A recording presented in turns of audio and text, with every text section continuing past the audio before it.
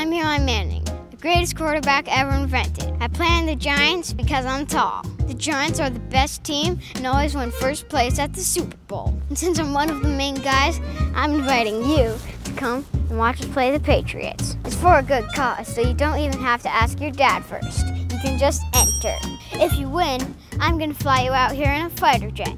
I'm rich, so even if that costs $100, I can pay for it. At practice, we can throw the ball around and do plays. We can do that play from the Super Bowl. You can be David Tyree, and I'll be me.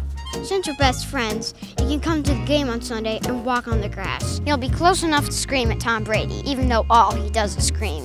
You can tell him I said that. Hey, Tom and I are actually pretty good friends. But that was pretty close. I'm going to fly you and a friend to New York in a regular plane, throw the ball with you at practice, grab lunch, and then hook you up with VIP passes to watch us play the Patriots. So click the button and enter. Or go to omaze.com slash Eli.